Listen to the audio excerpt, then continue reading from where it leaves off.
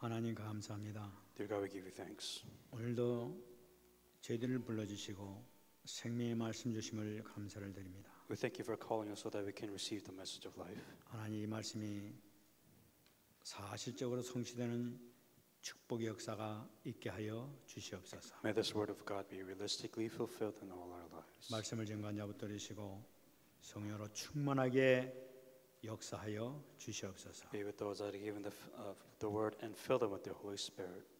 시정을 주님께 다가왔고 살아계신 예수님의 이름으로 기도합나이다. And all these things in Jesus Christ's name I pray.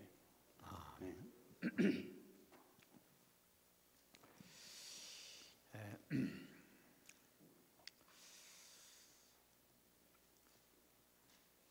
얼마 전에 한 목사님을 만났었습니다. Uh, a couple of days ago, I met a pastor. 아 근데 그 목사님이 이렇게 그 만났더니 이제 식사를 같이 하는데 아 앉자마자 아 저한테 이렇게 얘기하는 거예요. And we were having a meal, or, and as soon as he sat down, he said this. 제가 오늘 성경을 읽었는데요. 어, 성경 가운데서 제가 감동을 이 말씀을 듣고 감동을 받았습니다. And I read one of the Bible verses, and it was uh, very touching, and I was touched with emotions. 그래 오늘 목사님 이렇게 만날 걸 생각하면서 같이 이렇게 말씀을 읽었는데 아, 이 말씀이 오늘 목사님한테 주시는 말씀이었습니다. 오늘 그 얘기 들었어요. And what he said is, you know, as I was thinking about meeting, having this meeting today, I read the Word of God, and I felt like this was the Word of God that I wanted to share with you today. 우리가 그 삼오늘 하면서 아, 이제 그런 얘기를 이렇게 많이 했지 않습니까? As we do three todays, like we say this all the time. 그런데 그 목사님이 나한테 그런 얘기 하는 걸 듣고 굉장히 참 신선하게 이렇게 들리더라고요. And so, as this pastor was telling me this, it kind of felt uh, uh, renewed. 나는 이렇게 그 오늘 잡은 말씀을 가지고 오늘의 이제 그, 그 기도 수첩 가지고 받은 말씀이나 또는 성경 읽는 가운데 받은 말씀을 가지고 그렇게 이제 얘기를 했었었는데 내가 그런 얘기는 처음 들어봤단 말이에요. And you know, I was so used to you know having um, today's word and uh, and the prayer journals and hanging on to that, but and sharing that that was common. But you know, this receiving it on one side was really different for me. 그러니까 이제 그 얘기를 딱 들으니까 내 지금 마음에 아참 얘기가 상당히 그 자세가 진지해지기 시작하고 어, 얘기가 이제 좀 이렇게 말씀적으로 이렇게 에, 이렇게 나가기 시작하더라고요. Because right off the bat, it started from the beginning of our meeting and conversation. We he threw out, you know, the word of God, and uh, the meeting became very sincere, and it was a very um, it was a very uh, uh, serious in the God uh, word of God moment.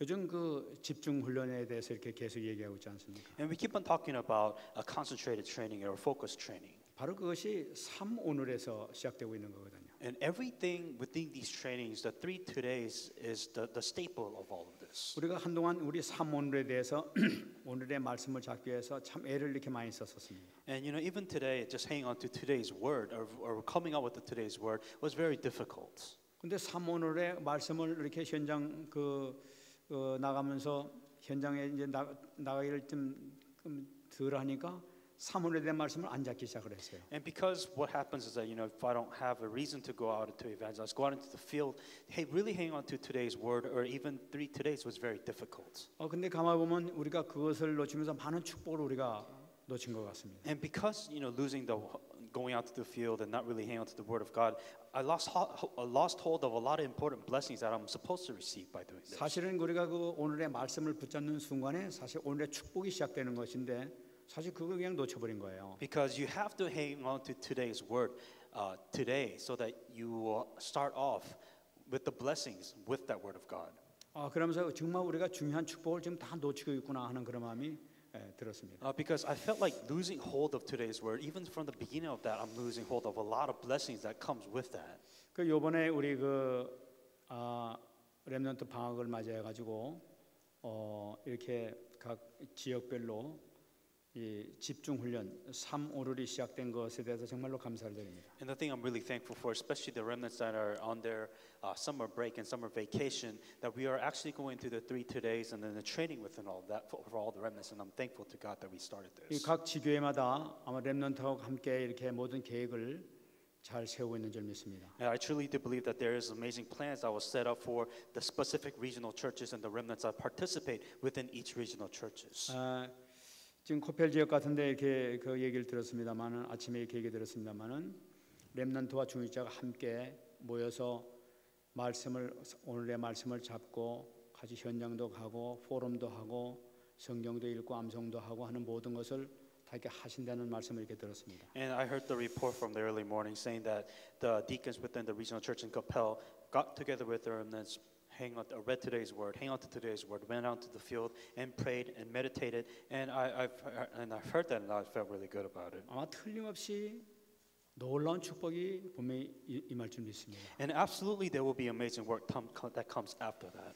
그래 아마 각 그 지역에서도 이런 일을 이런 것을 할때 아마 이번 방학 동안이 렘넌트께 큰 용을 평생 잊지 못하는 그런 귀한 그 방학이 될 줄 믿습니다. And I truly do believe this won't be just another summer break, but with this uh, going on, uh, the training going on, I believe that this will be a very important summer vacation for. 우리가 you. 성령 세례를 위해서 계속 기도하고 있습니다. We are continuing to pray to be baptized by the Holy Spirit. 근데 성령 세례를 위해서 기도할 때 성령 세례 달라고 하는 그런 기도를 뭐 하는 것도 중요하지만은 보다 앞서 가지고 우리가 정말 하나님께서 기뻐하시는 일을 하면서 거기서 하나님께 주신 선물을 받는 것이 제대로 된 순서죠. Uh, the important, pr- of course, we have to pray to receive the baptism of the Holy Spirit, but you have to understand the priorities first. When you're asking for the baptism of the Holy Spirit, you have to do the work of God that will give glory to God first, and then receive the gift which God has given to us. 에, 그럴 때 아마 그 말씀을 포럼하고 같이 말씀 현장에 갖고 나가는, 나가는 그런 순간에 아마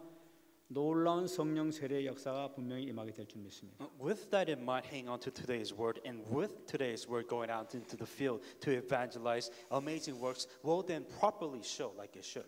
그래서 우리 여기 렘넌트 중에서 정말로 성령 세례 받는 그 체험을 하게 된다면은 이번 방은 끝나는 거죠 사실. And if a remnant is able to come to that point, receive baptism of the Holy Spirit, and do this, then this will probably be the best summer that you'll ever have. 이번 방학에 여러분들이 미, 제 2의 빌리 그레함이 나올지도 모르죠 여러분 가운데서. And who knows, maybe even throughout this summer vacation, that we might have a uh, second uh, a Jason or Peter or whoever. 안 그러면 무디와 같은 그런 유명한 전도자가 나오게 될지도 모르죠. Or maybe we'll find an amazing evangelist like Moody among you. 뭐 여러분들이 그 말씀 붙잡고 나가게 돼 하나님께서는 분명히 큰 역사가 일어날 줄 믿습니다. Because if you hang on to the word and pray with that, amazing works will show.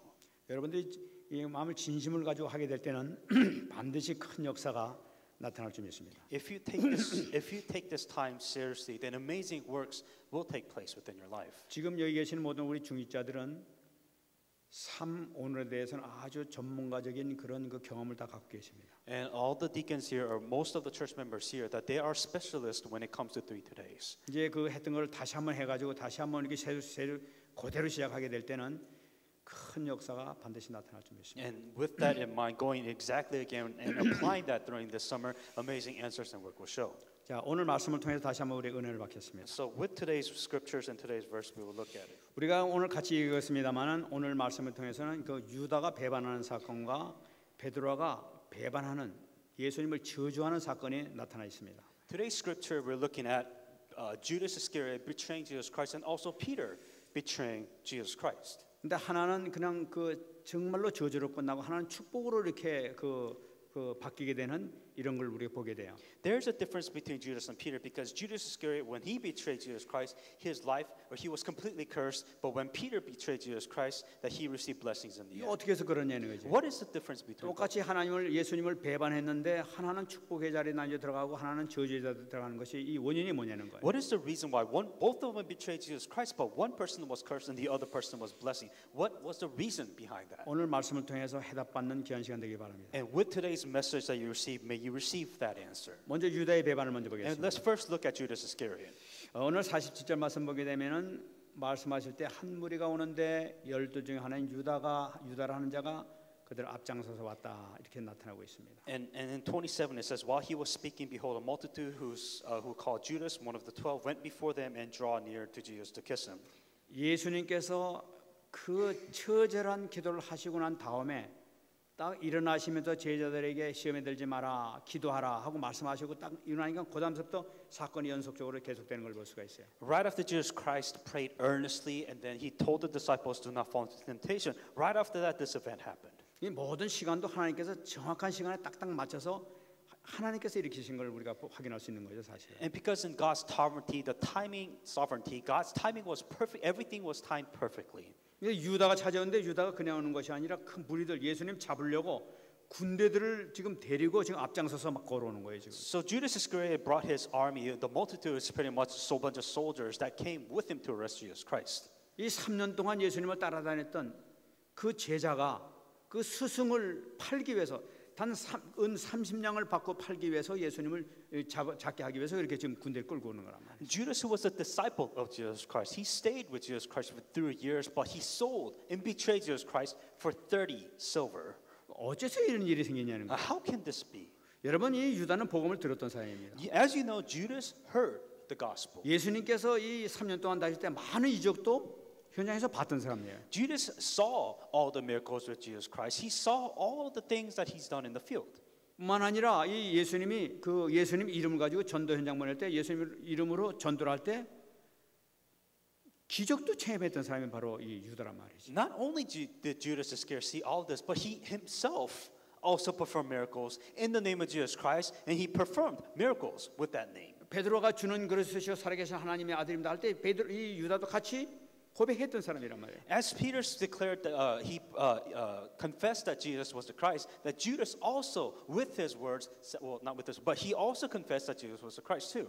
그런데 이 어쩌자고 말이 지금 예수님 팔라고 지금 이렇게 무리를 끌고 오냐는 거예요. After going through all of this, how could Judas Iscariot betray and sell Jesus 그이 Christ? 모습을 보시기 바랍니다. Look at what happens. 48절 보게 되면 예수께 입을 맞추려고 가까이 하는지라 예수께서 이르시되 유다야 네가 입맞춤으로 인자를 파느냐 하시니 And drew near to Jesus to kiss him, but Jesus said to him, Judas, are you betraying the Son of Man with a kiss? 지금 이 유다가 와- 유다가 와 가지고 예수님에게 입맞추려고 이렇게 이 포옹을 하는 걸 본단 말이죠. And as you know, Jesus Christ was, or Judas was approaching Jesus Christ to, to give a kiss to him.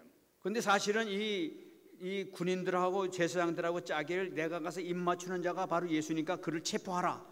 이렇게 미리 짰다고 이렇게 얘기를 했단 말이야. And the reason why he was doing that because Judas Iscariot, uh, Judas told the soldiers and told the rabbi saying that arrest the guy that I am going to kiss. 찾아와 예수님 안녕하십니까 하고 선생님 안녕하세요 하고 이제 그 포옹을 지금 하고 있단 말이야. And Jesus was appro- or Judas was approaching Jesus saying that, Hi, how are you? I, it's good to see you, and trying to give him, give him a kiss. 그러니까 예수님께서 딱 그 말씀을 드리면서 유다야 네가 입맞춤으로 인자를 파느냐 하면서 그 앞에서 딱 말씀하신단 말이야. And knowing that, Jesus said, Judas, are you betraying the Son of Man with a kiss? 이건 뭐예요? 지금 유다는 지금 예수님께서 전혀 모를 줄 알고 그런 숨, 그런 행동을 하고 있지만 예수님께서는 다 알고 있다는 걸 말씀하시는 거 아니야? The reason, the reason why Jesus Christ said this because Judas Iscariot didn't tell all the disciples, he didn't, didn't even tell Jesus, but Jesus was calling out Judas saying that he knew what he was going to do, and he was saying that, Are you going to betray me with a kiss? 저는 이때 그 예수님의 마음을 한번 생각해 봤습니다. And I really thought of it in the perspective of Jesus. 예수님께서 화가 난 마음으로 막 이렇게 말씀하셨을까? And do you really think that Jesus was angry when he was telling this? 이 To Judas? 말씀을 보게 되면 그런 것 같지는 않아요. And I don't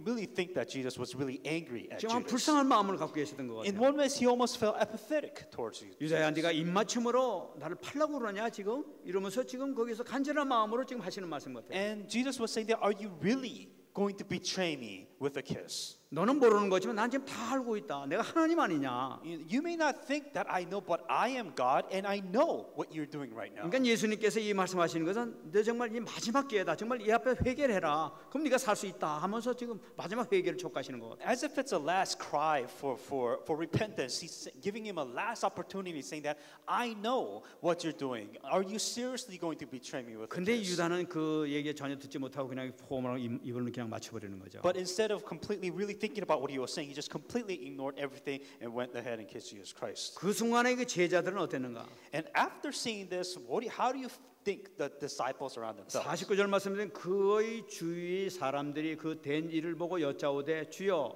우리가 칼로 치리까? When those around them saw what was going to happen, they said to him, Lord, shall we strike with the sword? 갑자기 예수님께 기도하시고 난 다음에 군대들이 막 몰려오기 시작하고 뭐 상황이 이상해졌단 말이에요 지금. The situation was they were praying, and all of a sudden, out of, nowhere, don't fall into temptation, and all these soldiers came towards Jesus. 그리고 막 군대들이 막 몰려오고 있단 말이에요. And you can see like bunch of army, bunch of soldiers that surrounding. 이게 제자들이. 위기를 이으면서 딱 한대 얘기가 주여 칼로 쳐버릴까요? 지금 이 얘기란 말이에요. So because obviously there's these soldiers with you know soldiers that is trying to do something to Jesus, the disciple is saying that should we strike them with our swords that we just got? 얼마 전에도 이- 얼마 전에 주님께서 말씀하신 게 있다면 네가 다 팔아가지고 금을 사라 할 말씀이 있기 때문에 아 이 순간 때문에 주님께서 말씀하셨구나 하면서 이제 그렇게 당장 얘기하는 거죠 지금. And of course, the misunderstanding can come from saying that you know sell your outer clothes to get a sword. So they were thinking, okay, well I have a sword, so I'm guessing Jesus want me to use this on the soldiers. 아마 이렇게 얘기했던 사람이 아마 분명히 베드로 같아요. And I pro- I'm pretty sure that Peter was among one of them that hastily took this action. 이 베드로가 성질이 급하긴 급한 것 같아요. And because he was very impatient, or he was he has a little self-control. 대답을 듣기 전에 그냥 칼로 쳐버린 거예요. So before anything, he got a sword. He, he struck one of the soldiers right away. 그래가지고 이 보니까 귀가 잘려졌다 그렇게. And 얘기해요. as you know, that one of the ears of the soldiers got cut off. or 50절 one of the 말씀에 ears. 그 중에 한 사람이 대제사장의 종을 쳐 그 오른쪽 귀를 떨어뜨려 버렸다고 그래요. Uh, one of them struck the servant of the high priest and cut off his right ear. 아마 이 그 베드로가 친 것은 아마 이것이 그 아마 목을 치려고 그랬던 것 같아요. 쳤는데 싹 피하는가 동시에 귀가 귀만 딱 날아간 거. And what happened was that I'm guessing Peter was actually trying to kill a person, but the servant actually dodged and it ended up cutting his ear off. 그 요한복음 18장 10절에서는 이 정확하게 그 누구의 귀가 떨어졌다고 나타나고 있습니다. And it says specifically in John 18:10 of whose ears got cut off. 베드로가 칼로 대제사장의 종 말고의 귀를 떨어뜨렸더라 이렇게 얘기하고 있어요. Then Simon Peter, having a sword, drew it and struck the high priest's servant and cut off his right ear. The servant's name was Mal- Malchus. 그러니까 이건 역사적인 사실이니까 정말 누구의 이름까지 나타나니까 분명히 그 칼로 쳐서 그 말고의 귀가 떨어졌다는 걸 얘- 나타내고 있는 거죠. It actually specifically in detail shows who the person was and, and how it happened. 그걸 보신 예수님께서 뭐라고 그러셨느냐? And after seeing that, what did Jesus Christ do? 51절 말씀 보게 되면은 예수께서 일러 이르시되 이것까지 참으라 하시고 그 귀를 만져 낫게 하시더라. But Jesus answered and said, Permit even this. And he touched his ears and healed him. 예수님께서 하신 말씀이 이것까지 참으라는 말씀이에요 지금. The thing was, he said, Permit even 왜 this. 지금 이것까지 참으라고 그러십니까? Why would Jesus Christ say, even permit and allow this? 내가 네 마음을 알고 있다는 거죠. Jesus knows the heart of the 그러나 내 온. 것은 이까지 참으라는 거 보니까 내가 네가 육신 위해서 이- 이- 그 하지 말고 감정을 위해서 동기를 위해서 네가 그 살지 말라는 걸 나타내는 거죠. What he was saying is that I know what you're going through. I understand. You know, throw all your motives and throw everything away because this has to be done. 마태복음을 보게 되면 내가 하늘 있는 천사를 내가 못 들어올 그- 못 들어올 줄 아느냐 말씀하세요. And Matthew even says, Do you really think that I can't even send angels? That I could send angels from heaven above down here? 말씀을 이루기 위해서 이걸 해야 되느냐고 말씀하고 It's 있습니다. because to have the fulfillment of the word of God, you must permit this. 예수님의 삶이라는 것은 뭐냐? 말씀 성취를 위한 삶을 살았던 걸 볼 수가 있어요. What is the mission and purpose of Jesus Christ? That he has to fulfill the promise and the covenant of God. 여러분 말씀 성취를 위해서 예수님 자신의 목숨까지도 지금 버리시는 거예요. To have the word of God fulfilled, that covenant fulfilled, Jesus sacrificed his own life. 말씀은 반드시 성취되기 때문에 Because the word of God has to be 그 fulfilled. 예수님께서 그렇게 지- 지키고 있단 말이에요. Even Jesus staked his life for the word of God to be fulfilled. 예수님의 평생의 삶을 보게 되면 말씀 따라가는 삶을 살았던 걸 볼 수가 If 있어요. you look at the entire life of Jesus Christ, his life was nothing but to fulfill the covenant and the word of God. 저는 얼마나 놀랐습니까? And how surprising would all this be? 그 아담과 하나 하나님께 주신 말씀을 배반해 버렸잖아요. That as Adam and Eve completely betrayed and, and forbid and, and went against the word of God. 그래가지고 온 인류에게 문제가 와 버렸잖아요. And the entire world, entire creature, every living being was cursed because of that decision. 주님께서 이 말씀을 생명을 내놓고 말씀을 지켜나가는 걸 볼 수 있단 But. Jesus Christ staked his life to have the promise of God, the word of God, fulfilled. 그 하늘의 이 많은 천사까지도 부를 수 있는 능력이 있음에도 불구하고 말씀 성취를 위해서는 모든 것 육신 다 포기해 버리는 거나. That Jesus has amazing power to send all the armies of angels, and bring him down to do whatever they want, but he had to fulfill the word of God. 왜 그렇습니까? Why? 말씀에 모든 것이 다 들어있기 때문에 그런 Because 거예요. everything is within the word of God. 바로 이것이 생명이에요. 모든 약속, 모든 축복이 다 들어있는 것을 볼 수가 있는 거죠. That there's life, there's blessings, and everything is within the word of God. 그러면서 하시는 말씀이 그 귀를 만져 낫게 하시더라. And he touched his ears and healed him. 여러분 이 말고의 귀를 다시 떨어진 걸 다시 붙잡아 잡아 가지고 귀에다 이렇게 붙여주셨단 말이에요. His ears got cut off. He picked it up. He put it on his ears, and he got healed. 이 말고의 말고가 누굽니까 지금? So who who is this Malchus? 예수님 잡아 죽이려고 지금 잡으려고 지금 칼을 들고 예수님 찾아온 어떻게 보면 예수님의 원수란 말이에요 지금 이렇게. Malchus was an individual among the soldier crowd that was waiting to arrest Jesus Christ. So in one way, is that he was an enemy of Jesus Christ. 근데 예수님께서는 참아라 하시면서 그 원수된 그, 그 사람의 그 귀를 잡아가지고 치유를 시켜준 걸 볼 수가 있어요. And Jesus said, "Permit this, allow this." He picked up his ears and healed his enemies that's going to kill him. 이것은 뭐- 무엇을 얘기하고 What 있습니까? does this mean? 말고도 치유의 대상이라는 걸 나타내고 있는 And 거예요. also talking about that he is the con- the, the ministry of his healing that he also performed. within 예수님의 them. 원수는 누구예요? That who is the enemy of Jesus Christ? 예수님의 원수는 그 속에서 역사하는 이 사탄이 원수란 말이죠. That it is the force of darkness that is working within those people, Satan.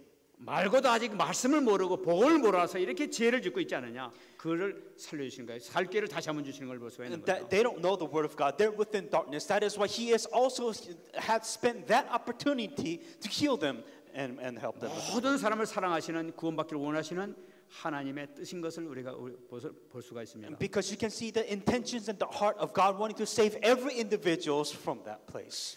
그러면서 그 52절에 중요한 말씀을 하고 계십니다. In verse 52 comes a very important verse. 예수께서 그 잡으러 온 대제사장들과 성전의 경비대장들과 장로들에게 이르시되 너희가 강도를 잡는 것 같이 금과 몽치를 가지고 나왔느냐 And Jesus said to the chief priests, captain of the temple, and the elders who come to him, Have you come out as against a robber with swords and 그 clubs? 말고의 길을 고쳐주시고 난 다음에 무리들 다 이렇게 보시는 거예요. And after he healed Malchus's ears, he looked at all the priests and everybody that was there, and he said this to them. 그러니까 많은 게 군대들이 왔는데 보니까 막 칼도 있고 뭐 쇠뭉치를 들고 있단 말이에요. If you really look at it, that soldiers, they had clubs, that they had swords, they had weapons to capture Jesus 이 Christ. 쇠뭉치라는 것은 그냥 쇠뭉치가 아니라 쇠 끝에 이게 막 뿔이 팍팍 달려 있는 그 찌르면 콱 하면 그냥 완전히 부서져 버리는 그런 뭉치를 나타낸단 말이에요. A club, so you're talking about maces that has spikes in the end, so uh, so it's a blunt weapon to to crush people's skulls. 이걸 언제 사용하냐면 이 강도나 이, 이 살인자들 배반한 자들을 잡으러 다닐 때 갖고 다니는 것이 그런 무기란 말이에요. If you are carrying this type of lethal weapon, you usually use that against a dangerous individuals like robbers or somebody that committed a really serious crime. 예수님 잡으러 온다고 하면서 그런 걸 지금 들고 오고 있단 And they're capturing Jesus Christ, but they're here they are with with weapons, huge, strong weapons to capture Jesus Christ. 이것은 무엇을 상징하고 있느냐? What does this mean?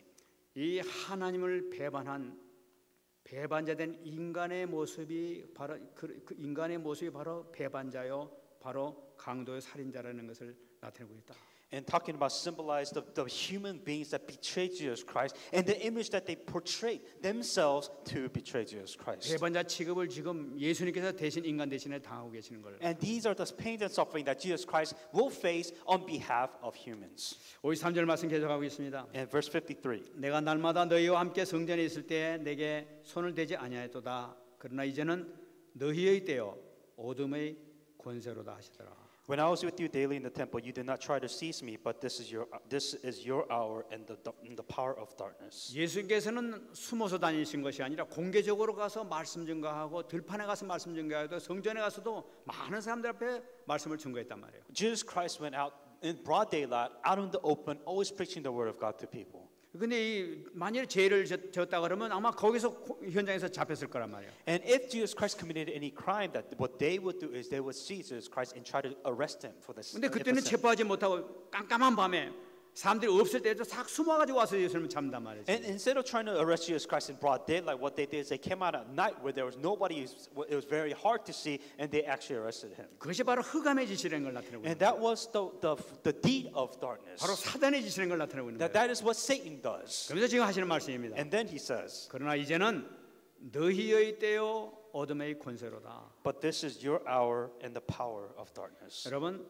이제는 너희의 때라는 것이 무슨 말씀이에요? And so this is the message that was given to them. 이제는 하나님이 허락하신 때라는 걸 나타내고 있는 And 거예요. what Jesus Christ was saying is that this is the hour which God has allowed. 여러 가지 예수님을 잡지 못했던 것은 하나님께서 허락하지 않았기 때문에 못 잡은 것이다는 거예요. The reason why Jesus was never captured or, or persecuted because God did not allow it to happen. 이제는 너희의 때에 어둠의 권세로다는 것은 뭐냐니까 이제 하나님께서는 너희들에게 허락한 시간이라는 걸 나타내고 있는 거예요. And now it is a time which God has allowed for you to be fallen into darkness and for Jesus Christ to be 그러니까 captured. 어둠의 권세가 허락 이 활동하도록 허락하는 시간은 시간이 바로 하나님께서 주신 거란 말이에요. The power of darkness for for this to work, that you have to understand, God has to allow them to work. 왜 그렇습니까? Why?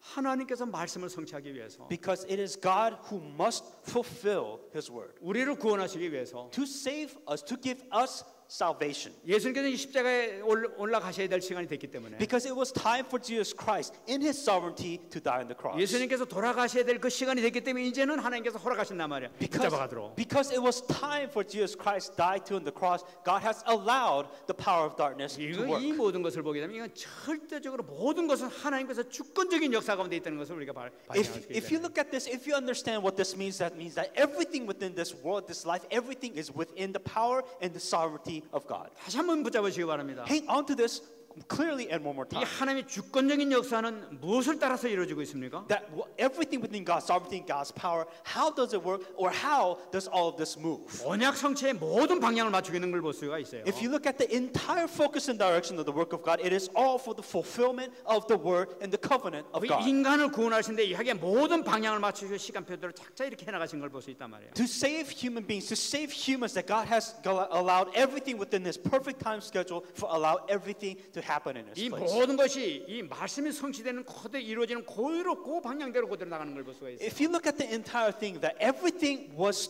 fulfilled exactly perfectly timed to fulfill the word of God. 여기서 우리는 중요한 걸 잡아야 You 되겠어요. must hang on to this correctly. 우리가 말씀을 잡는 순간 우리는 절대로 실패하지 않는 걸 붙잡는 거죠. That the moment you hang on to the word of God within your life, that you will never fail. 우리가 말씀 언약을 따라가는 순간 우리 절대로 하나님과 동행하는 삶을 살 수 있다는 걸 나타내고 있는 If you follow to see the word of God filled within your life, within your field, then God will never allow you to 말씀 fail. 속에 있는 순간 주님께서 함께 하시는 것을 우리가 발견하게 되는 거죠. The moment word of God becomes fulfilled, that God is with you right then and there. 정말 이 승리의 비결을 잡을 수 있는 여러분 되시길 축원합니다. May you understand this and be victorious with 이 it. 베드로를 이제 보겠습니다. And now let's look at Peter. 54절 말씀에 되면 예수를 자- 잡아 끌고 대제사장의 집으로 들어갈새 베드로가 멀찍이 따라가니라. Having arrested him and led him, brought him into the high priest's house, but Peter followed him at a distance. 여러분 이게 예수님께서 체포될 때 마가복음 14장 50절 말씀 보게 되면 제자들이 예수를 보고 다 도망갔다고 얘기를 하고 있어요. In Mark 10, 14 or Mark 14, 50, it says that all the disciples ran away when Jesus Christ was arrested. 다 도망갔는데 오늘 54절 말씀 보게 되니까 베드로가 멀찍이 지금 쫓아가는 걸 볼 수가 있어요. But in verse 54, that there was Peter at a distance who was actually following Jesus Christ as he was being arrested. 그러니까 이 도망가다가 가만히 보니까 궁금했던 모양 예수님께서 어떻게 되는가 싶어서 멀찍이 이제 눈치만 살살 보면서 지금 따라가는 걸 나타내고 있는 거죠. And of course, all the disciples panicked, but Peter was actually still curious, you know, what's going on, what's happening, and he actually followed Jesus Christ at a very long distance. 그런데 그것이 이제 그걸로 끝나는 것이 아니라 이제 사건이 생기기 시작하는 거예요. And it, that's where his uh, event or his uh, circumstances begin. 55절 말씀부터 나타납니다. In verse 55. 사람들이 뜰 가운데 불, 불을 피우고 함께 앉았는지라 베드로도 그 가운데 앉았다.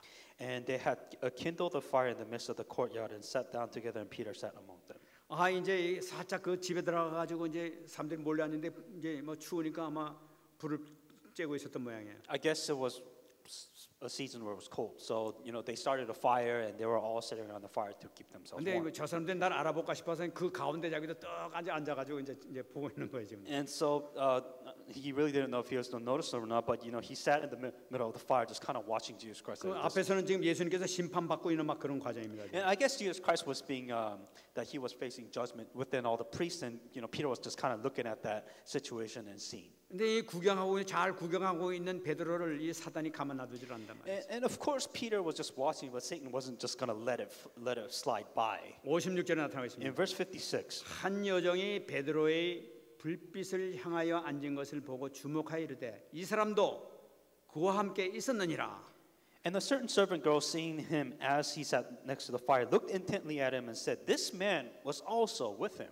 이 베드로가 지금 예수님께 심판받는 거 지금 가만히 지금 구, 하- 구경하도록 놔두질 않고 사단이 그냥 어린 그 어, 어린 계집종을 놓고 지금 이렇게 또 사용하시는 걸 볼 수 있어요. Instead of just allowing Peter just kind of watch what's going on in the situation, that Satan was using, or, or he was, uh, so Satan didn't leave Peter alone. A girl came up to him and, and started uh, pointing him out. 아, 이 사람도 바로 예수님과 같이 있었잖아. 저 사람 같이 있었던 사람이 이 사람 아니야 하는 그런 얘기죠. And this girl, servant girl, was saying that wasn't he also with Jesus Christ?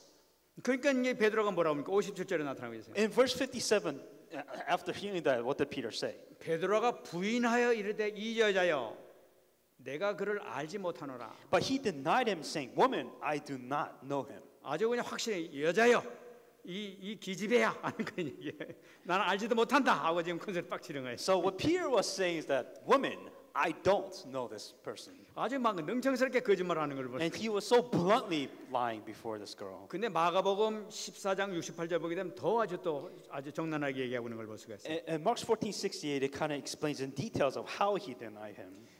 네가 말하는 것이 무엇인지 알지도 못하고 깨닫지도 못하겠노라. But he denied it, saying, I neither know nor understand what you're saying. 완전히 정세원, 너 무슨 말하냐? 나 도저히 못 알아듣겠네. 이제 이런 이막 이런 막 하는 거예요. And what Peter was saying is that, What are you talking about? I have no idea what you're talking about. And then he walks away. 아 이미 잡히면 큰일이란 말이야 지금 막. Because understand that Jesus was captured and he also could be arrested too. 간단하게 그냥 그 여자 아이가 얘기하는데 그냥 배반한 난 예수 전혀 말 무슨 말인지 전혀 모르겠어 하면서 지금 예수님을 배반하고 왔는데 And, and that's why when the young servant girl pointed Jesus, uh, pointing him out, saying that Peter, or Peter saying, I have no idea what you're talking about. 아 그런데 그냥 고 고르고 이제 끝났으면 괜찮은데 그 사단이 또 가만히 있질 않아. Uh, instead of just letting it fly after betraying once, Satan really didn't allow it to happen. He kept on pushing. 58절 보면 In verse 58, 조금 후에 다른 사람이 보고 이르되 너도 그 도당이라 하거늘 베드로가 이르되 이 사람아 나는 아니로라. and after a little while, another saw him and said, "You also are of, also are of them." But Peter said, "Man, I am not." 그러니까 이 너도 그 당이라는 것은 뭐냐? 너도 같은 패지 이러면서 물어보는 거지. And one of the other guys came up saying that, "Hey, weren't you also with Jesus Christ? I know you were with Jesus Christ." 그러니까 이 사람아 나는 아니야. And saying that, "Man, I am not." 이게 뭐예요? 잡히면 죽는다는 거예요. 지금 막 상황도 지금 급박해 가는데 잡히면 내가 이 목숨이 날아갈 판이란 말이에요 지금. 이제. Because the situation once again is if he gets captured right then and there, there, there they are, that he could get arrested and he could also go. to 그러니까 jail. 자기 목숨이 아까워서 지금 하나님 앞에 비- 비겁해지는 거예요 인간이 지금. Because his life was at stake, you know, he really didn't know what to do. He kind of panicked and just kind of denied everything. 그러니까 이 사단은 그냥 이 소리 듣고 더 세게 밀- 몰- 몰아쳐 나가는 걸 볼 수가 있는 And 거죠. Satan, knowing what he was saying, what decision he was making, that he, Satan even pushed even further after that. 59절에 또 또 몰아치는 걸 볼 In 수가 verse 있어요. 59, 한 시간쯤 있다가 또 한 사람이 장담하여 이르되 이는 갈릴리 사람이니 참으로 그와 함께 있었느니라. and after about an hour's passed, another confirmed, uh, firmly saying that surely this fellow was also with him, for he is a Galilean. 어, 한 시간 정도 지났으면 이제 끝날 줄 알았더니 또 하나가 나타나가지고 얘기한다. So after an hour that he was watching, another person comes up and saying that I'm sure that you are this person. 막 because you're Galilean." 장담하여 이렇게 확실하게 증거를 가지고 지금 가지고 얘기하는 거죠. 지금. And now with this, uh, with, uh, with 100% assurance saying that you are Galilean and I know that you are with Jesus 근데 이 Christ. 사람이 누군지 요한복음 18장 26절에 정확하게 나타나고 있어요. And who, who this person was specifically comes out in John 18, 26. 대제사장의 종 하나는 베드로에게 귀가 잘린 사람의 친척이라 이르되 네가 그 사람과 함께 동선에 있는 것을 내가 보지 아니하느냐. One of the servants of the high priest, a relative of him whose ears Peter cut off, said, I did I not see you in the garden with him? 그 사람이 누구냐면은 이, 이 베드로가 칼 쳐가지고 말고 얘기를 쳤는데 말고하고 친척이 그 현장에 같이 있었단 말이에요. 그게. And, and the, the irony is, is that the person that actually pointed him out, saying that you you are with Jesus, was the relative of the person of the high priest servant whose ears got cut off. 그러니까 이 말고의 친척은 분명히 누가 죽였는지 분명히 보고 베드로 얼굴 확실히 아는 사람이란 말이에요. Of course, if you're relative of your of your relative getting your ears cut off, you will remember that face. 확실히 너 아니냐 내가 봤다 현장에서 봤다 하면서 지금 얘기하는 And 거예요. say that I know it was you. You're the one that struck him. You were with Jesus Christ. 그때 이 60절에 얘기하고 있습니다. 베, 베드로가 이르되 나는 네가 하는 말을 알지 못하노라 하고 아직 말할 때 닭이 울더라. But Peter said, "Man, I do not know what you're saying." Immediately, while he still uh, remember, uh, while still speaking, the rooster crowed. 그런 그 증거를 가지고 얘기할 때 마태복음 20장 74절에는 더 확실하게 얘기를 하고 있습니다. And a little bit more detailed way of how he expressed himself was in Matthew 26, 이 74. 베드로가 하는 얘기죠. This is what Peter said. 그가 저주하며 맹세하여 이르되 나는 그 사람을 알지 못하노라 하니 곧 닭이 울더라. Then he began to curse and swear, saying, I do not know the man. Immediately a rooster crowed. 계속적인 공격을 통해 가지고 결국 베드로 수제자를 하는 베드로 입에서 예수님을 저주하도록 만들어 버립니다. And what happened was that because he was so caught up in the moment, he actually swore and he cursed. 정말 목숨이 아- 아- 이 아깝기 때문에 막 살기 위해서 막 몸부림치면서 막 예수님까지 자기 스승을 그렇게 섬겼던 그 예수님까지 저주하고 맹세하고 있지 않습니까? Because his life was he was going to die, that he had to curse Jesus Christ and deny that he knew him. 예수님께 3년 동안 훈련을 받았던 이 제자가 사단에게 순간적으로 완패당하는 걸 볼 수가 있어요. That Peter, who was with Jesus Christ for three years, it took a single moment to bring all of that down. 그런데 이 말씀 가운데 우리가 잡을 것이 바로 60절 말씀 마지막 말씀이죠. But in verse 60 is what you need to hang out the alpha off of all of this. 아직 말하고 있을 때 닭이 울더라. While he was still speaking, the rooster crowed. 예수님께서 그 현장을 분명히 말씀하셨던 것이라면 있단 말이에요. This was exactly what Jesus Christ said in the field. 그러면서 61절 말씀 보게 되면은 주께서 돌이켜 예 베드로를 보셨다 이렇게 말씀하고 있어요. And when it happened, the Lord turned and looked at Peter. 이 베드로가 자기 살기 위해서 몸부림치면서 예수님을 저주하면서 난 절대로 모른다고 아니라고 하면서 막 맹세하는 그 사실을 주님께서는 그 저주하는 소리를 다 들으셨다는 얘기죠. And as you know, as Peter was denying Jesus Christ three times, swearing and cursing Jesus, Jesus was hearing what Peter was saying. 닭이 오는 소리를 딱 듣자마자 예수님께서 그 신문 신문을 받으시는 순간에 베드로를 쫙 쳐다보시는 거예요. And as soon as the rooster crowed, he looked at Peter. 여러분 예수님도 그때 왜 보셨을 것 같아요? Why do you think that Jesus would look at Peter? 너희는마 조금 전에 큰 소리 쳤지? 그거, 말씀하시려고 그랬겠어요? Do you really think Jesus was, Christ would tell Peter, saying that I told you so, and would look at Peter?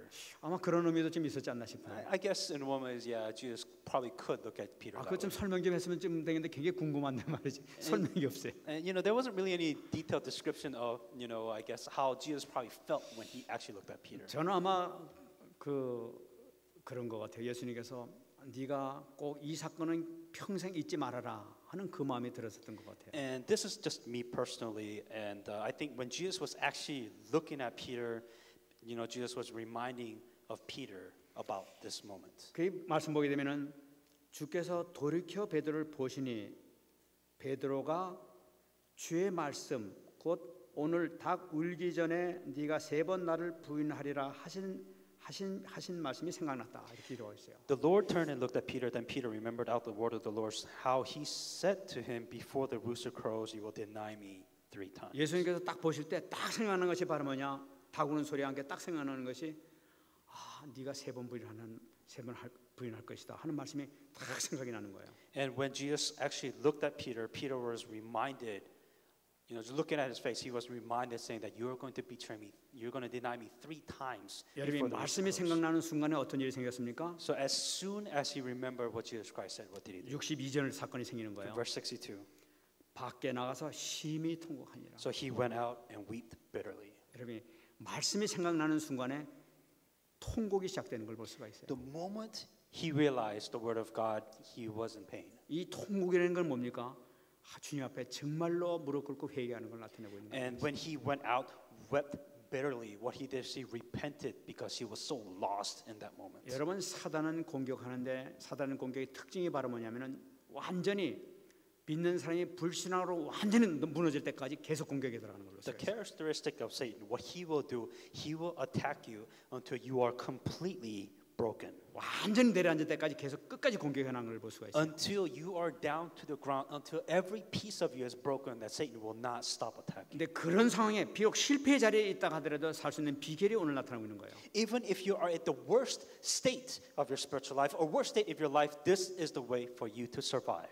말씀이 생각나는 순간에 살아나는 거예요. The moment you re- remember the word of God, you will live. 말씀이 생각나는 그 순간에 회개가 터지기 시작합니다. The moment you hang on to the word of God, you will survive. 여러분 회개가 터지기 시작하면은 우리는 사는 거예요. And when you repent during that time, that you will live because of your repentance. 요한일서 1장 9절입니다. 1 John 1 9.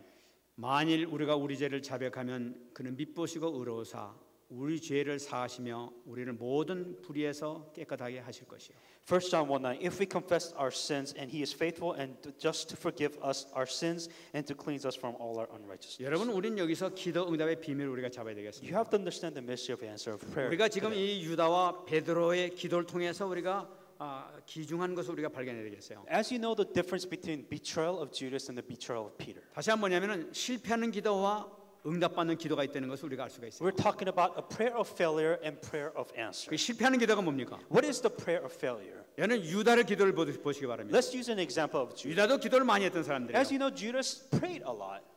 유다도 이 복음을 다 알고 있던 사람이에요. That Judas heard and he knew the gospel. 그리고 이 주는 그리스도시여 살아계신 하나님의 아들입니다. 고백도 다 하고 다녔던 And he 거예요. also heard that Jesus is the Christ, the Son of the living God. He also even told everybody he was the Son of the living God. 그가 알고 있는 모든 것은 지식적인 신앙이었던 것을 우리가 볼 수가 있는 But 거죠. everything that Judas is scared was nothing but in his head. It was knowledge.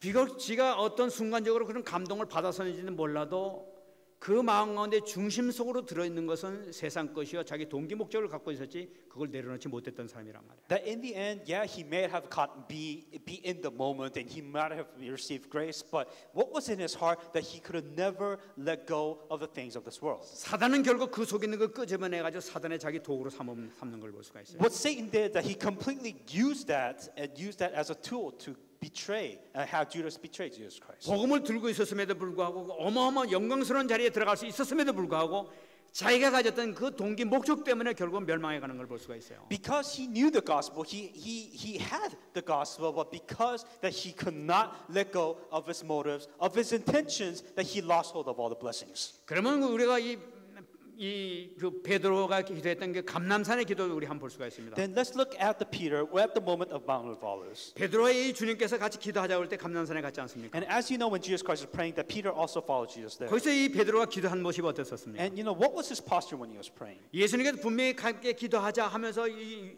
그 시험에 들지 말라 기도하자 하면서 말씀하셨음에도 불구하고 전혀 나의 말씀이 되지 않았던 거예요. And for Peter, when he says, you know, don't fall asleep, don't fall into temptation, for Peter, it really didn't, you know, it really didn't touch him. He really, really didn't take that to heart. 아 지금 육신이 피곤해 죽겠는데 지금 무슨 말씀이에요? 지금 막 잠도 못 자고 말이야. 너무 피곤해요 지금 막 이러가 지금 그 예수님 말씀이 들어오질 않아 버렸다. And because Peter was so physically tired, he was exhausted, he heard what Jesus was saying, but he really didn't really want to follow that. 예수님께서 옆에 기도하신데도 불구하고 아이고 참 빨리 주무시지 그냥 하면서 막 야, 귀- 귀찮았을지도 몰라 막 거기서. And for Peter, because you know it was late at night, it was you know he was full, and he just was tired, and he kind of wished that her Jesus was hurry up so that they could go to sleep. 그래 비몽사몽간에 건성으로 막 주여 하고 있다가 막 그냥 콕 하고 잠이 꾹 그러단 말이야. And I guess he was saying, "Oh dear God," and he was so tired, he probably passed out while he was praying. 예, 여러분 중원보험 기도, 이 건성을 하는 기도는 능력이 나타나지 않습니다. And as you know, if you do pray half-heartedly, or if you just kind of pray without really thinking about it, then God will really not answer that prayer. 여러분 이런 기도는 사단의 장난감이 될 수밖에 없는 거예요. And if you pray like this without focus, without real heart, that Satan will use that prayer against you. 정말 거기서 힘있게 기도하고 주여 나에게 힘을 주소서 하면서 천사가 예수님을 도와주듯이 그들도 도와줬다 하게 되면 이런 일이 생겼겠어요. If you truly earnestly want that prayer to answer, if you truly put your heart into it, do you really think that God will not send angels? And do you really think that God will not answer that prayer? 예수님의 수제자를 하는 자가 그 기도를 하지 않게 되니까 완전히 사단의 장난감이 돼버리게 되는 거예요. because that they were not praying so earnestly, because they did not pray like they should be, that Satan will really use that and, and attack the Peter. 어린 계집종에 와 계집종해 가지고 너도 가, 당신도 같은 패하냐? 막 이렇게 막 막 달려드는 거예요. To the point where it was a young servant, a young girl that was that was telling, you know, Peter saying that weren't you one with Jesus Christ? And Jesus really, or Peter just panicked and he didn't know what to do. 예수님의 수제자를 하는 그, 그 베드로가 말이에요. 그 앞에서 조그만 계집종이 얘기하는데 쩔쩔매면 나는 아니야 절대로 아니야 하면서 막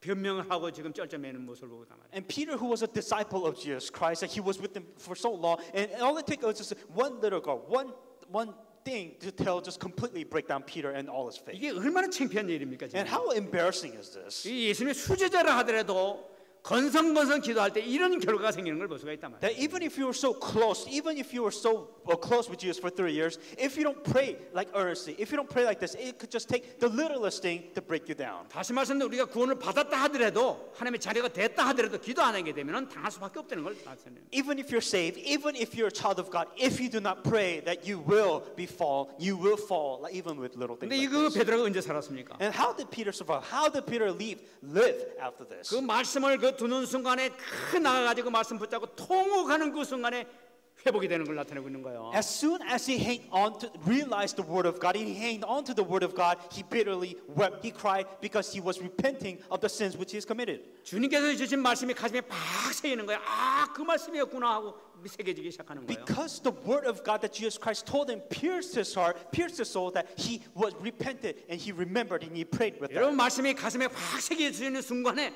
성령께서 역사하신단 말이에요. That the 바로. moment the word of God enters your heart and your mind, that the Holy Spirit will begin to work. 성령께서 역사하시면 통곡이 나오게 되는 그 회개가 나오게 돼 있는 거예요. If the Holy Spirit works within your life, then you will repent for the sins that you've committed and you will come back to normal spiritual life like you should. 회개하는 순간에 모든 것이 회복되고 있는 거예요. If you're able to repent, then everything that you've lost will be restored once again. 자녀에게 주신 어마어마한 축복이 이때 나타나기 시작한단 말이에요. This is the amazing blessings the child of God has, and it will be restored if you come to this point. 베드로가 그렇게 예수님을 저주하고 배반했음에도 불구하고 회개 한번 해가지고 그냥 그 모든 게 회복되는 거 아니에요? That Peter did not, he cursed, he denied Jesus Christ three times, but after his repentance, after the word of God, he repented and everything was restored. 그 once 유다는 again. 어땠습니까? What about Judas Iscariot? 유다는 마- 유다는 마지막에 예수님께서 그렇게 말씀하시는 분들하고 말씀이 닿질 않는 거예요 지금 이렇게. Jesus threw out the word of God to Judas Iscariot, but he didn't care. He didn't really hang on to the word of God. He continued to do what he did. 네가 입맞춤으로 나를 팔려고 그러느냐 말씀에 그렇게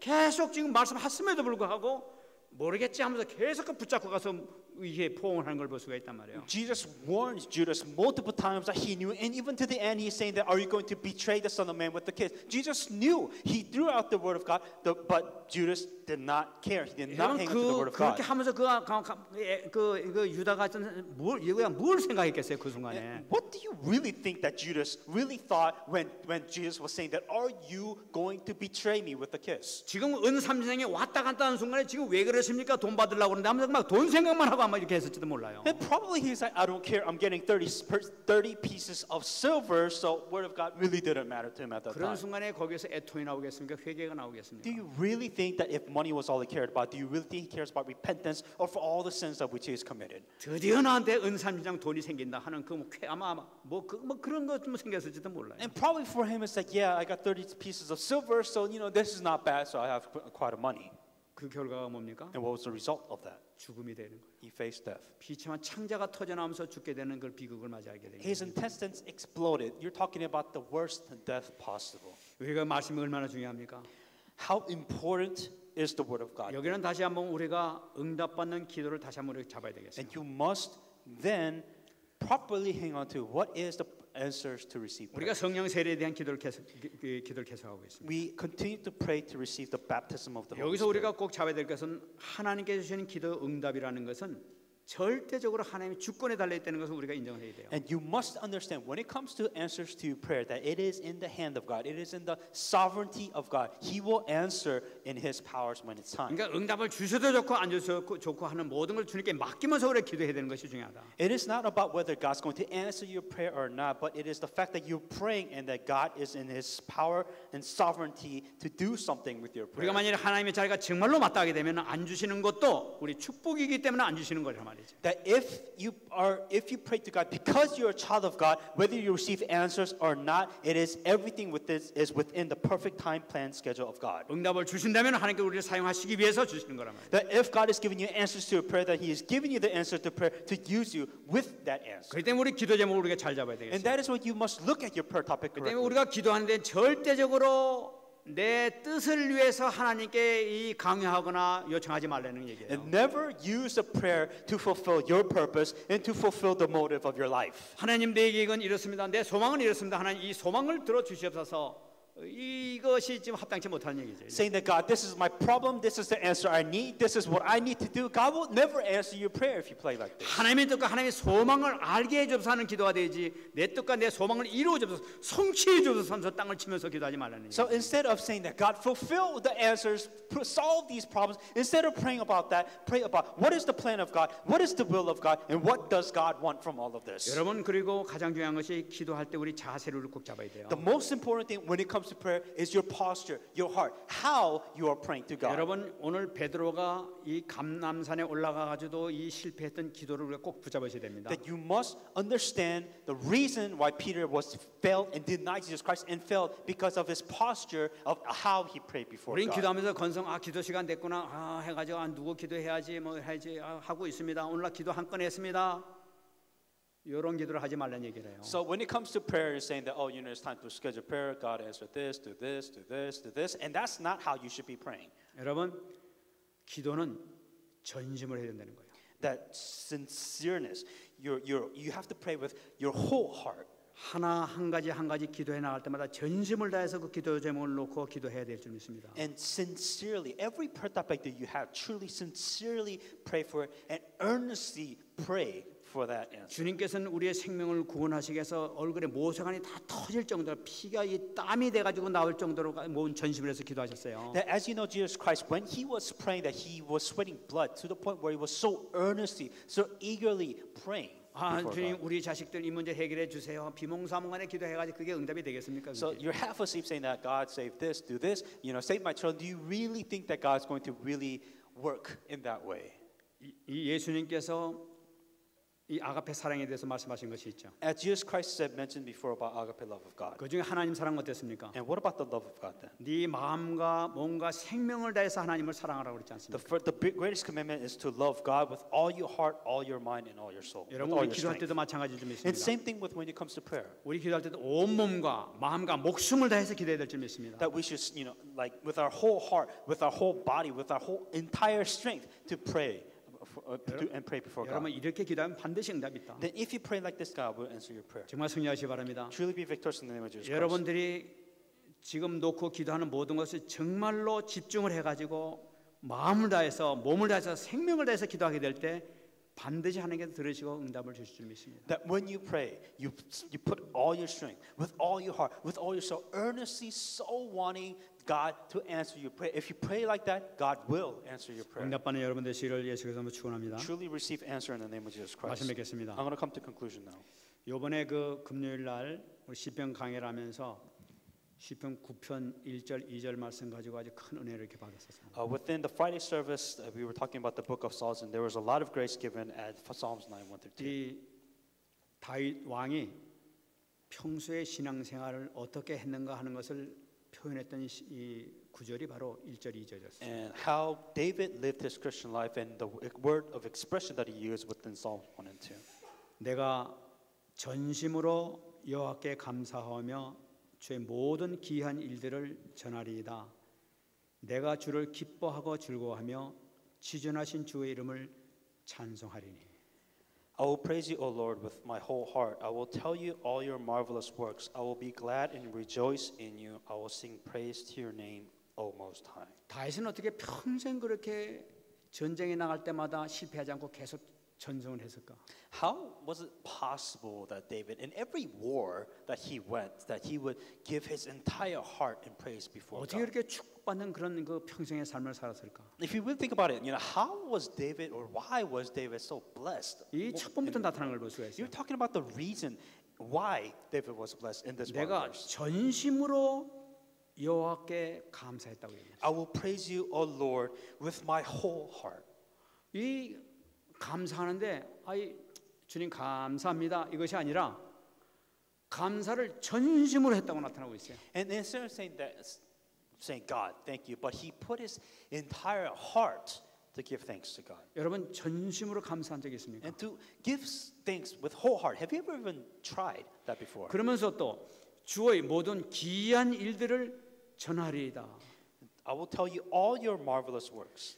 그러니까 주님께서 이 어, 놀라운 이 그 경험을 이겨줬죠. 막 전쟁에서 이기는 많은 그런 그, 그 승리를 체험할 수 있도록 해줬단 말이에요. And for David, it was ta- talking about all the wars and all the victories which David has won. 그런 걸 가만히 있는 것이 아니라 모든 기이한 일들을 다 간증했다는 거예요. And he was testifying of all the marvelous work which God has done in his life. 하나님께서 이렇게 역사하셨다. 하나님께 이게 역사하셨다면서 이게 간증했다는 걸 나타내는 And he was testifying, saying, This is how God worked, and this is what God did, and this is what God has done. 그뿐만 아닙니다. Not only that, 내가 주를 기뻐하고 즐거워했다는 거예요. and to be glad and rejoice in you. 여러분 주님이 기쁩니까? That are you truly happy with God? 주님이 즐겁습니까? That are you truly enjoying being with God? 다윗은 그렇답니다. That's how David was. 정말 이, 이 다윗은 주를 기뻐해 버렸어. And David was so happy that God was with him. 주님 막 즐거워. That, you know, just being with God, he was happy. 그러니까 말씀을 통해서도 기뻐했고 즐거워했고 기도할 때도 기뻐했고 즐거웠던 게 나타나고 있는 That 거예요. when he was reading the word of God, he was so happy. When he was praying to God, he was happy. 여러분 이것이 체험되면 끝나는 줄 믿습니다. If you're able to experience this, then you have really come to the best state possible. 그러면서 지존하신 주의 이름을 찬송한다고 나타나. I will sing praise to your name, O Most. 주님을 기뻐하고 즐거워하니까 자연적으로 나타나는 것이 주님의 이름을 찬양할 수밖에 없는 거예요. Because so he, he's so glad that God is with him. He's so re, uh, in, uh, rejoicing within God that he has no choice. But he, of course, he's going to be thankful. To. 여러분 이것은 뭐 우리가 전심으로 주님을 기도하, 기도하는 이 이상인 걸 보여. 주님 기뻐하고 즐거워 버리니까 그 이상 당긴 걸 볼 수가 있어요. That we're talking about beyond putting your whole heart to pray. We're talking about just being happy, knowing that God is with you, just rejoicing the fact that this is on a different and a higher level. 그냥 앉아서 그냥 찬송가 부르니까 찬송 찬송합시다 이것이 아니고 기뻐하면서 즐거워하면서 찬양할 때는 걸 나타내고 있는 거예요. That we're not talking about you know following a sing-along song, just praising God. We're talking about you are just so happy and you want to sing because you're so happy. 여러분들이 그런 줄 믿습니다. This is how you should become. 그렇게 될 때 놀란 응답의 역사가 나타날 줄 믿습니다. If you've come to this point, then you will enjoy amazing answers. 응답받는 여러분 되시길 바랍니다. May it truly be individual receive this answer. 말씀을 다 I want to come to conclusion now. Right, let us pray with the message that we've heard. 하나님 감사합니다. 오늘도 하나님께 주신 이 말씀을 통하여 다시 한번 아버지 하나님 복음 잡으며 언약을 잡을 수 있도록 축복하시니 감사드립니다.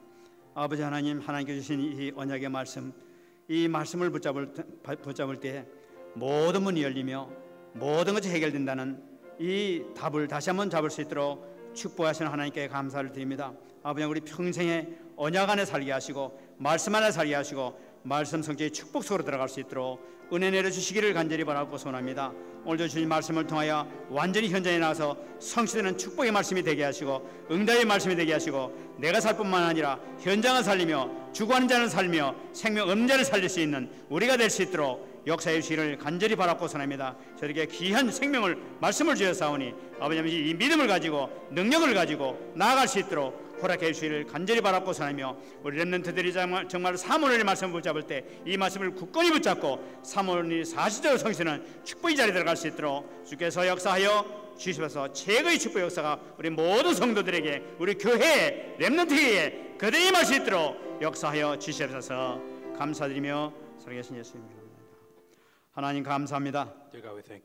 오늘도 주신 말씀이 현장에서 그대로 성취될 수 있도록 역사하여 주시옵소서. May this word of God be fulfilled exactly. 현장에 나갈 때 그냥 내 마음과 생각으로 나가는 것이 아니라 말씀을 들고 나갈 수 있도록 축복하여 주시옵소서. As we go out into the field, help us not only our thoughts, our mind be within our fields, but it is the word of God that be fulfilled within our field. 만나는 사람들에게 내 말이 아니라 하나님의 말씀을 먼저 선포할 수 있도록 축복 내려 주시옵소서. So whomever we, we meet in our field, may it be the word of God that speaks forth, not our minds or our, th- or our thoughts. 그래 그 사람을 통해서 문제가 해결되는 것이 참으로 증거가 나타날 수 있도록 주께서 축복 내려 주옵소서. Help us to be a witness and give us proof and evidence that all our answers become solved within the word of God. 감사드리며 살아계신 예수님 이름으로 기도합나이다. In all these things, in Christ's name I pray.